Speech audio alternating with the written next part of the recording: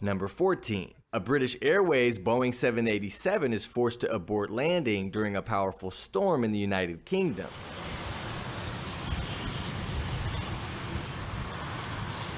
Oh my god.